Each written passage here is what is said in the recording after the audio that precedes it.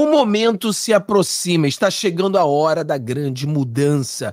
Vamos falar sobre o presidente Bolsonaro se preparando para ir para a Argentina, já que ele foi convidado e o Lula não foi, para estar ali com o Milei, o novo presidente argentino. Essa ida do Bolsonaro deixa a grande mídia em desespero. Eles sabem que a vitória do Milei fez com que o povo brasileiro, de uma forma ou de outra, despertasse, né? É como se o povo brasileiro, eu e você, fomos nocauteados com a vitória do Lula. Ficamos meio assim tontos, sem saber muito qual o caminho a seguir, e aí nós começamos a melhorar, a melhorar, e com a vitória do Milley agora, as coisas melhoram muito mais. Já estamos fortes, firmes e fortes, prontos para a batalha. Bolsonaro preparado junto com Michele Bolsonaro e alguns outros guerreiros indo para a Argentina para trazer essa energia que está deixando a esquerda revoltada. Também vamos falar sobre o pastor Sila Maslapaia, que rasgou, destruiu o Alexandre de Moraes. Ah, nós precisamos mostrar isso para vocês. O pastor simplesmente, como sempre, ele tem sido coerente nessa questão do Alexandre de Moraes. Então, o Silas Malafaia realmente vai para cima dele e você precisa assistir isso. E também vamos falar sobre a vergonha, né? Nós temos um presidente que simplesmente nos envergonha. Um dia após o nós temos um patriota que morreu de maneira injusta, de maneira errada, aonde a família deve processar esse estado nojento do Brasil, ele vai comemorar, ele vai entregar umas honras ao Alexandre de Moraes e à sua esposa. Vamos falar sobre esses três assuntos, três assuntos importantes para você aqui no nosso canal. Meu nome é Fábio, aqui do canal Vida Gringa, seja bem-vindos. Agora são seis horas e seis minutos da manhã, sete minutos da manhã, desculpa. É muito bom estar aqui com vocês. Compartilhe com seus amigos, inscreva-se no canal. E uma ótima notícia: nós tá, só está faltando R$ 1.500 para a gente chegar aos 30% da nossa vaquinha. Então, se você não conseguiu doar ainda, não ajudou ainda, Vida Gringa Pix gmail.com. Nós estamos fazendo uma vaquinha de todo mundo doar aí 22 reais ou R$ 2,22, porque aí a gente consegue chegar. Estamos faltando R$ 1.500. Uma vez que chegarmos a esses R$ 1.500, a gente começa tudo, comprar tudo e mostrar para você como é que a gente. Ah, vou ter que aprender como é que mexe nas coisas, mas tudo vai dar certo. Galera, inscreva-se no canal, vamos direto ao assunto. Vamos começar com o pastor Silas Malafaia rasgando o Alexandre de Moraes. Eu já começo a bater palmas sempre quando vejo isso aqui. Vamos lá.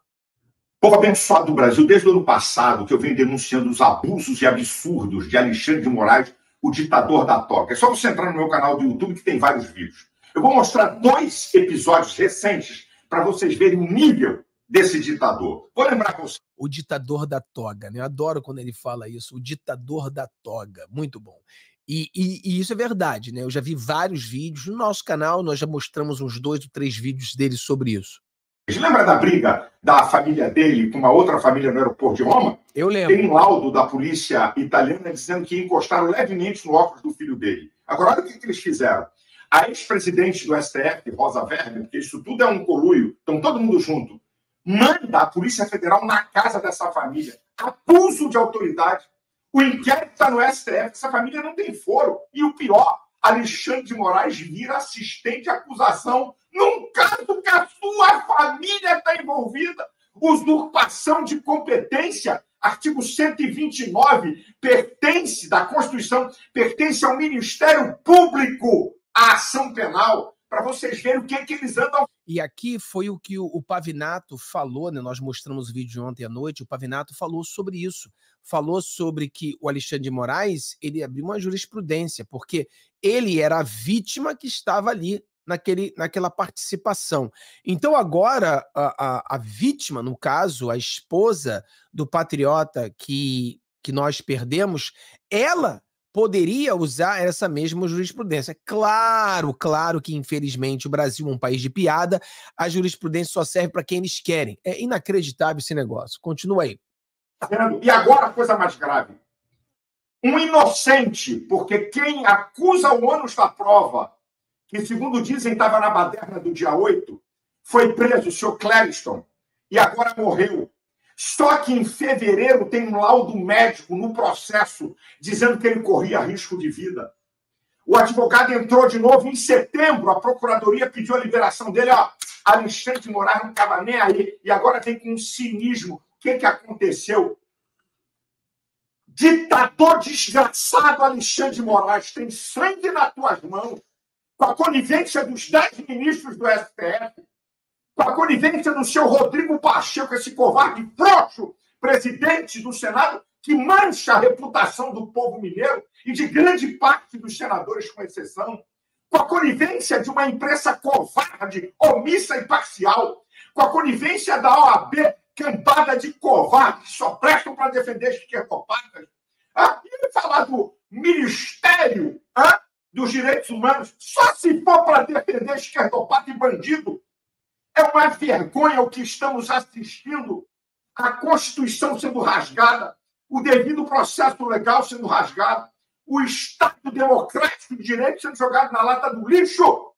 A esquerda cansou de fazer baterna nesse país. Nunca foram acusados de golpe. Tacaram fogo no Ministério da Agricultura em 2017, invadiram o Congresso Nacional. O STF não se meteu em nada. Agora, pessoas que não têm foro no Supremo sendo julgadas com abuso de autoridade desse ditador desgraçado Alexandre de Moraes, que mereceu impeachment e para cadeia. Que país é esse? Que covardia é essa? Que omissão é essa? Aonde vamos parar? Até onde isso vai chegar? Fica aqui a minha indignação, fica aqui o meu protesto. Eu não tenho medo de ditadores. Eu não tenho medo. E vou dizer uma palavra aqui. Senhor ditador da toga Alexandre Moraes, que tem sangue nas tuas mãos, se você e os seus colegas escaparem do supremo poder de uma nação, que é o povo, vocês não vão escapar do supremo poder do universo, que é Deus. Não importa quando será. Deus vai agir e vocês vão pagar caro pela covardia e morte de inocentes. E tem outros lá, hein? Doentes. É uma covardia, gente, o que estamos assistindo no país. Fica aqui a minha indignação e o meu protesto. Deus tenha misericórdia da nossa nação. Muito forte. Eu concordo com tudo que ele falou, entendeu? É, é muito forte o que a gente vê acontecendo e realmente é isso, né? A, cara, é, um país que a gente não pode acreditar que está acontecendo isso. É como se nada tivesse acontecido. E o Pacheco, como bem é, colocou o pastor, o Pacheco tem sido omisso por anos. Agora ele começa a fazer alguma coisa e a gente tem que aplaudir, nós temos que apoiá-lo, porque hoje vai ter a votação. Vamos torcer para que isso passe no Senado e vá logo para os deputados e vamos apoiar aí, fortificar aí a nossa pressão sobre o, o, o, os deputados para que venha a ser votado e a gente consiga então é, passar essa lei. Isso vai chegar né, no, no STF, se passar no Congresso e na Câmara, e provavelmente o STF vai barrar. Mas é isso que a gente quer. A gente quer essa confusão, a gente quer essa briga, a gente quer que o Pacheco ele está fazendo essa PEC porque existe um poder entrando dentro do outro. Se ele fizer essa lei, essa lei passar né, no, no, no, Senado, passar na Câmara, chegar no, no, no STF e eles barrarem, realmente estará comprovado aquilo que ele vem falando. Então precisa fazer mais, precisa fazer mais, mais leis para pará-los mais, que eles briguem. E nós aqui estaremos com a pipoca torcendo para briga, exatamente, e ficar de olho no que está acontecendo. Mas essa questão do, do, do Alexandre de Moraes, ele realmente está se queimando. E não vai ficar assim. Como o pastor falou, que se não pagar agora, vai acabar pagando.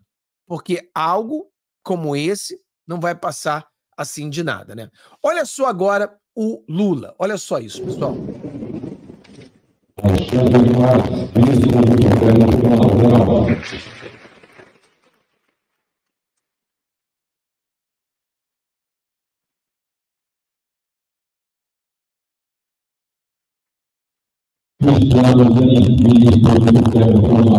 Isso um dia depois da morte de um, de um, de um patriota. Né? Ele foi ali para homenagear e dar ali os prêmios a, de grande para o Alexandre de Moraes, uns outros inclui a Janja. A Janja. Eu estava lendo aqui uma matéria, eu quero pegá-la aqui para conversar com você sobre essa matéria, porque ela é, no mínimo, interessante. Ela é, no mínimo, interessante. Olha só essa matéria aqui. Tem umas coisas assim interessantes no, no nosso o, o, Metrópolis, né? O Metrópolis começa a colocar umas matérias interessante que diga do mínimo. Olha só o que diz aqui essa matéria, galera. Galera, dá o joinha, compartilhe com seus amigos aí. Vamos chegar ao maior número de pessoas possível. Olha isso aqui. Deixa eu aumentar aqui para você talvez ver de uma forma melhor. Pera aí. Deixa eu aumentar aqui para você, para você poder ler junto comigo. Pera aí, vamos lá. Uh, eu acho que agora ficou muito grande. Será que ficou muito grande? Não, dá para você ver. Ficou só aquele negócio na frente ali, mas dá para você ver legal. Vamos lá. Janja, a condecorada, e você não tem nada a ver com isso. Olha só que sensacional o, o, o, esse, esse, esse artigo, né? Janja recebeu a mais alta condecoração da Ordem do Rio Branco pelos seus serviços e méritos excepcionais Quais foram esses serviços? Alguém lá no grupo do WhatsApp falou que se não fosse pela visita íntima, ela não seria primeira-dama. o pior é que é verdade. Foi boa demais essa.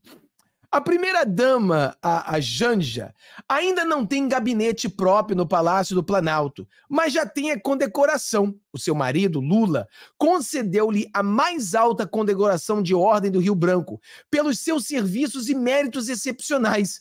Quais foram esses serviços? Isso não é nada, isso não é da nossa conta. E tem mais: a condecoração faz sentido de um ponto de vista histórico mais amplo. Ou seja, o, o, o, é muito bacana o que ele escreveu aqui, não vou ler tudo, eu posso colocar lá no grupo do WhatsApp para você ler. Mas interessantíssimo, né? É tipo assim: ela ganhou essa condecoração gigantesca e a gente quer saber o que não é da nossa conta. Mais ou menos, né? Por quê? Porque ela não fez nada. Ela não fez absolutamente nada.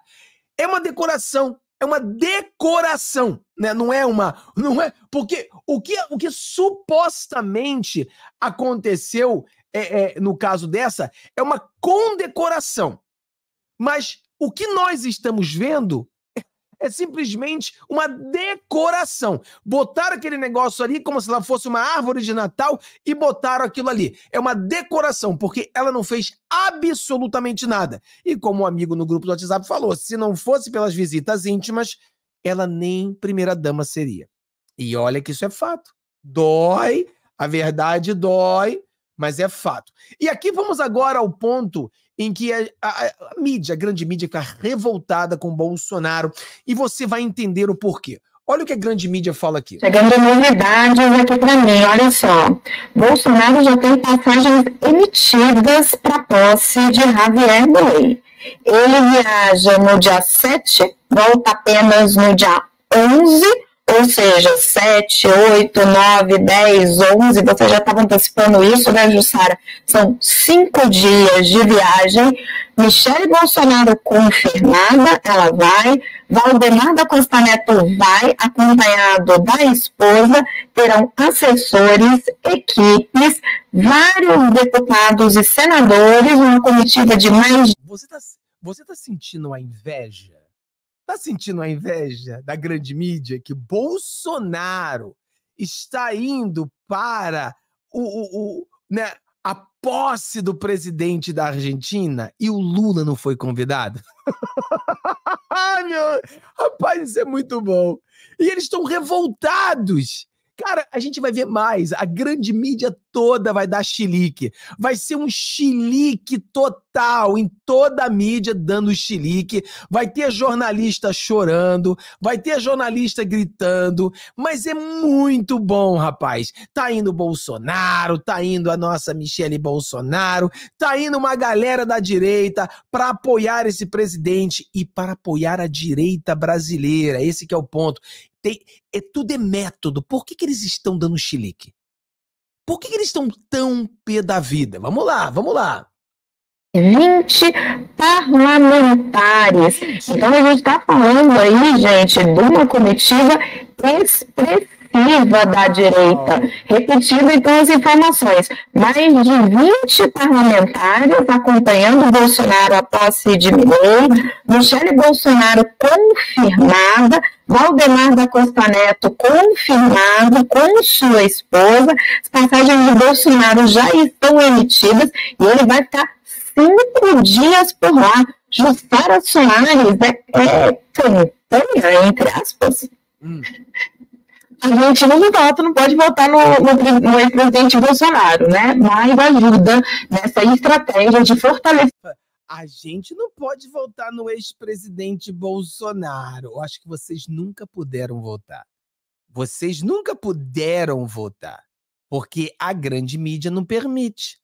Vocês nunca puderam, né? Nunca puderam. Mesmo se quisesse, não podia do conservadorismo, da direita. Eles querem aproveitar isso, Raquel, é, essa vitória do Milley, e estender esse reflexo. Querem fazer disso assim, que essa onda seja uma onda grande, para eles continuarem surfando por pelo menos por um bom tempo, até o final desse ano, para se reorganizar e aí voltar, começar o próximo ano, que é um ano super importante. Porque temos as eleições dos Estados Unidos, que eles apostam muito ali na eleição de Donald Trump, que é, é ídolo, né, que, de Bolsonaro, e também tem as eleições municipais, que, é, que são ali um, o objetivo principal do é, Valdemar Costa Neto, que é o presidente do PL, quer que Bolsonaro seja esse principal cabo eleitoral, para fazer maior número de prefeituras, né, de municípios ali no próximo ano. Então, essa posse do eles estão aproveitando tudo isso pelo simbolismo de lá, de tentar mostrar, olha, a direita se reorganizando aqui no continente, mas também é, dando esse recado. Eles vão, vão para a Argentina, mas eles estão olhando, olhando para o Brasil. Que isso significa? É um cenário, conservadorismo é uma onda que não é passageira, né, na Argentina voltou, né, a direita volta ao poder, e isso pode acontecer no Brasil. Então, é uma estratégia, Raquel, de dar esses recados, de plantar uma, uma sementinha de que Bolsonaro é, e a direita estão com fôlego para os próximos anos. Estão tentando convencer aí, estão tentando articular a ida também de Tarcísio de Freitas e do governador Ronaldo Caiado. Olha só o desespero, galera. Olha o desespero. Eles estão desesperados porque eles sabem que a direita voltou. Eles estão desesperados porque eles sabem que aquelas pessoas que estavam um pouco desanimadas voltou a ter ânimo. As pessoas já começaram em as ruas. Dia 15 já teve um número interessante de pessoas na rua. Com a vitória do Milley, eu tenho certeza que esse número irá aumentar muito. Mais pessoas estão falando de política, mais pessoas estão nos grupos de WhatsApp agora, mais pessoas estão assistindo os nossos vídeos. Ou seja, a direita começou a despertar novamente. Claro que você, muitos de vocês, seis horas da manhã, a maioria de vocês não voltaram a dormir. Mas muitos que despertaram ali para 2016, 2017. Quando Bolsonaro perdeu as eleições, eles voltaram a dormir. Voltaram a dormir, voltaram a descansar, voltaram a esquecer da, da política, mas agora, com a vitória do Milley, traz essa energia que faz essas pessoas voltarem à luta. Agora estamos juntos, acreditamos numa virada, acreditamos que o momento é esse. O momento é a direita se levantar. O momento é a gente ter agora essa PEC sendo passando no Senado. O momento é a gente aproveitar essa onda na Argentina, que essa onda chegue nos Estados Unidos e que dos Estados Unidos essa onda volte para o Brasil e a gente volta a ver a grande direita voltando. Imagina você ter o presidente Donald Trump, o presidente Bolsonaro, o presidente Milley e o Bukele. Esses quatro presidentes dominando a América do Sul, dominando a América Central e dominando a América do Norte. Seria sensacional e é possível. O que nós precisamos fazer é continuar nessa luta, é continuar lutando todos os dias, aprendendo todos os dias, crescendo todos os dias, melhorando todos os dias e apoiando aqueles que estão do nosso lado, aqueles que estão lutando pela liberdade, como o Milley fala, né? Liberdade, carajo! Aquele que luta pela liberdade nós precisamos vencer essa luta. Galera, Deus abençoe você, que você tenha um dia maravilhoso. Vou colocar um outro vídeo agora. Mais ou menos daqui umas quatro horas vai entrar esse vídeo que a gente fala de um assunto muito interessante. Por que, que você acha que a grande mídia começa a atacar o Lula? Por que, que a Globo, Estadão, Folha de São Paulo, Metrópolis começam a atacar o Lula. Você está entendendo? Eu faço ali mais ou menos uns 20 minutos, eu mostro, vou mostrar para você o porquê.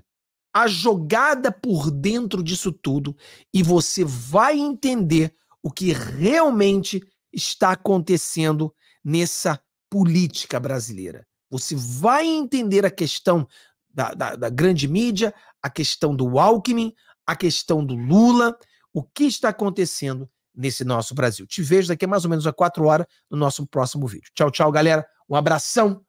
Te vejo depois. Não esquece de dar a sua vaquinha para a gente conseguir chegar ainda essa semana essa meta, tá?